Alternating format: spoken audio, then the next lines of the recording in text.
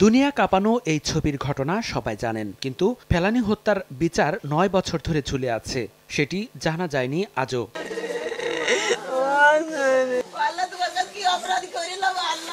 ভারতের চারপাশে যে কটি দেশের সীমান্ত রয়েছে, তার মধ্যে সবচেয়ে সুনির্দিষ্ট ও বিরোধহীন সীমান্ত বাংলাদেশের সঙ্গে। তবুও এই সীমান্তে হত্যার সংখ্যা সবচেয়ে বেশি। প্রতি বছরই প্রাণ যায় বহু নিরীহ বাঙালির। বৈঠকের পরে বৈঠক চলে সই হয় চুক্তি, সমঝোতাও। কিন্তু কোনোভাবেই বন্ধ হয়নি সীমান্ত হত্যা।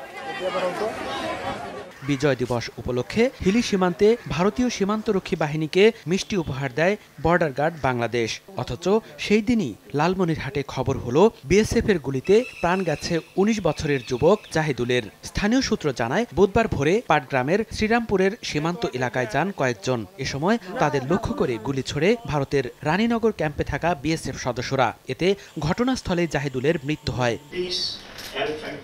অথচ চলতি বছর সেপ্টেম্বরে অনুষ্ঠিত সীমান্ত সম্মেলনে আবারও ঘোষণা দেওয়া হয়েছিল, শূন্যে নামবে এমন হত্যাকাণ্ড।